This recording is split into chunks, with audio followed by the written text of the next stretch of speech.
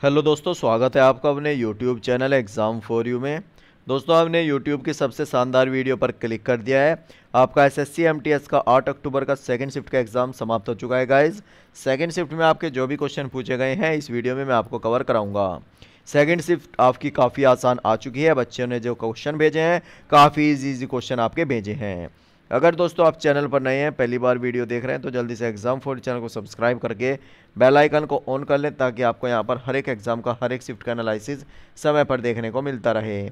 अगर आपका next shift में एग्ज़ाम है तो वीडियो को बिना स्किप किए एंड तक ज़रूर देखा करें गाइज़ क्योंकि यहाँ से आपके दो से तीन क्वेश्चन रिपीट होते हैं। तो देख लेते हैं आपकी सेकेंड शिफ्ट में क्या क्या क्वेश्चन पूछे गए हैं। एक क्वेश्चन था, व्यक्तिगत सत्याग्रह के प्रथम सत्याग्रही का नाम क्या है? विनोबा भावे है, आपका राइट आंसर था। वर्तमान में भारत के उपचुनाव आयुक्त कौन है? उमेश सिन्हा है, दिसंबर 2020 से। विश्व टीवी दिवस कब मनाया जाता है? 24 मार्च को मनाया जाता है। अगला क्वेश्चन था गाइस विटामिन सी का रासायनिक नाम क्या है? स्कोर भी कमल है, आपका राइट आंसर था। 2021 में ग्रामीण विकास मंत्री कौन है? नरेंद्र सिंह तोमर है। यमुना नदी के किनारे कौन सा शहर स्थित है? दिल्ली है। दिल्ली आपका करेक्ट आंसर था गाइस अगला क्वेश्चन देख लेते हैं। Who appoints the chairman of UPSC तो प्रेसिडेंट जो अपॉइंट करता है चेयरमैन ऑफ़ यूपीएससी को। आपका राइट आंसर था।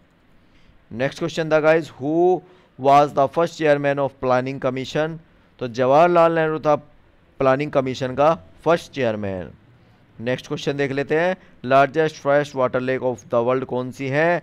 लेक सुपीरियर है ताजे पानी की largest lake in the world में। नेक्स्ट क्वेश्चन आया था guys which is a land lock sea. तो अराल सी जो है लैंड लॉक सी है, आपका राइट आंसर था। मेरे प्यारे दोस्तों, अगर आपके लिए वीडियो हेल्पफुल हो रही है तो फटाफट से सभी लाइक करते हुए चलेंगे। अपने सभी दोस्तों के पास शेयर कर देंगे वीडियो को, और अगर आप चैनल पर नए हैं, पहली बार वीडियो देख रहे हैं तो जल्दी से एग्ज़ाम फॉर चैनल को सब्सक्राइब करके बेल आइकन को ऑन कर लेना, ताकि आपको यहाँ पर हर एक शिफ्ट का एनालिसिस समय पर देखने को मिलता रहे। नेक्स्ट क्वेश्चन था guys which element is the highest conductor of electricity silver जो है हाइएस्ट कंडक्टर ऑफ़ इलेक्ट्रिसिटी है, आपका राइट आंसर था ऑप्शन नंबर डी नेक्स्ट था, सरयू नदी पर कौन सा शहर स्थित है? अयोध्या स्थित है, आपका राइट आंसर था. नेक्स्ट था, किस देश में दुनिया की पहली double step long haul container train शुरू की है? तो भारत ने की है, अपने देश भारत ने जो है, पहली double step long haul container train शुरू की है. नेक्स्ट देख लेते हैं गाइज़ विश्व का सबसे बड़ा तैरता हुआ सोलर पार्क आए मध्य प्रदेश में है। नीला थोता का रासायनिक नाम क्या है? यह आपका कॉपर सल्फेट यानी C U S four Tunisia के प्रधानमंत्री कौन है? हिचे मचीची आपका राइट आंसर था। नेक्स्ट क्वेश्चन था, प्राकृतिक गैस का सर्वाधिक उत्पादक देश कौन सा संयुक्त राज्य अमेरिका है? चार मीनार कहाँ स्थित है? ये हैदराबाद में है। डांडी मार्च की शुरुआत कब हुई थी? 12 मार्च 1930 में। भारत में पहली बार इंटरनेट कब शुरू हुआ था? 15 अगस्त उन्नीस सौ पंचानवे में। कंप्यूटर के पिता किसे बोला जाता है? चार्ल्स बेबेज को बोला जाता है। काफ़ी इजी इजी क्वेश्चन आपके पूछे गए हैं। सेकंड शिफ्ट में S S C M T S की, जिसकी भी थर्ड शिफ्ट में एग्ज़ाम है वीडियो को बिना स्किप किए एंड तक ज़रूर देखना। यहाँ से आपके दो से तीन क्वेश्चन रिपीट होते हैं। नेक्स्ट था नीति निर्देशक तत्व किस भाग में है? भाग चार में है। भारत ने अपना पहला परमाणु परीक्षण कब किया था? 18 मई उन्नीस सौ चौहत्तर में। जिला सत्र न्यायालय किसके अधीन आता है? सर्वोच्च न्यायालय के अधीन आता है। जिला सत्र न्यायालय, दिलवाड़ा मंदिर किस राज्य में? राजस्थान में। आपका राइट आंसर था गाइस नेक्स्ट था पेनिसिलियम क्या है? फफूंद यानी कवक होता है। एलपीजी की फुल फॉर्म क्या है? लिक्विफाइड पेट्रोलियम गैस हैं। पूना पैक्ट किसके बीच में होता है? डॉक्टर अंबेडकर और महात्मा गांधी जी के बीच में। महावीर का जन्म कहाँ हुआ था? वैशाली के कुंडलपुर कुंडल ग्राम में हुआ था। अगला क्वेश्चन देख लेते हैं गाइज़ प्रथम लोकपाल बिल कब आया था? 1968 में। किसे महाभियोग द्वारा नहीं हटाया जा सकता है? तो प्रधानमंत्री को जो है महाभियोग द्वारा नहीं हटाया जा सकता आपका राइट आंसर था।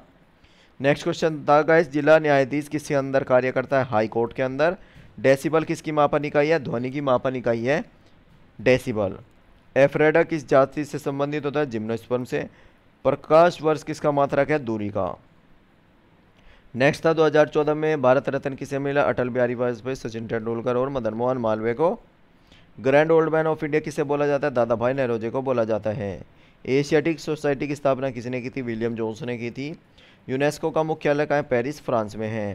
दोस्तों, अगर आपके लिए वीडियो हेल्पफुल हो रही है तो फटाफट से सभी लाइक करते हुए चलेंगे।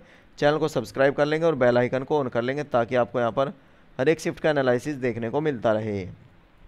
नीति आयोग के उपाध्यक्ष कौन है? राजीव कुमार है। अध्यक्ष नरेंद्र मोदी है और सीईओ है अमिताभ कांत।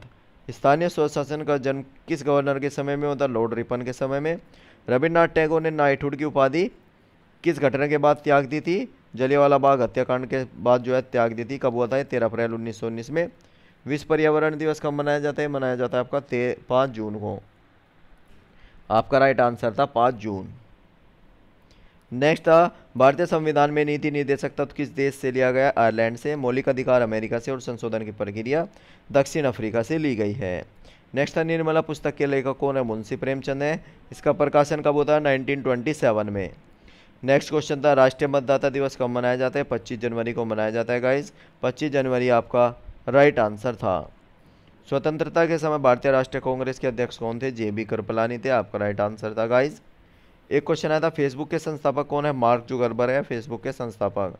भारत के छियालीसवें मुख्य न्यायाधीश कौन है? रंजन गोगोई है, आपका राइट आंसर था रंजन गोगोई। तो दोस्तों, ये थे आपके एस एस का जो पेपर कराया गया। आठ अक्टूबर का सेकंड शिफ्ट का उससे रिलेटेड हमारे पास आपके जो भी क्वेश्चन आए हैं, मैंने इस वीडियो में आपको कवर कराए। वीडियो अच्छी लगी हो तो फटाफट से लाइक कर दें। अपने सभी दोस्तों के पास शेयर भी कर दें और अगर आप चैनल पर नए हैं पहली बार वीडियो देख रहे हैं तो जल्दी से एग्ज़ाम फॉर चैनल को सब्सक्राइब करके बेल आइकन को ऑन कर लेना, ताकि आपको यहाँ पर हर एक एग्ज़ाम का, हर एक शिफ्ट का एनालिसिस देखने को मिलता रहेगा। तो दोस्तों, इस वीडियो में इतना ही। वीडियो देखने के लिए बहुत बहुत धन्यवाद। मिलते हैं नए वीडियो के साथ। तब तक के लिए जय हिंद, जय भारत।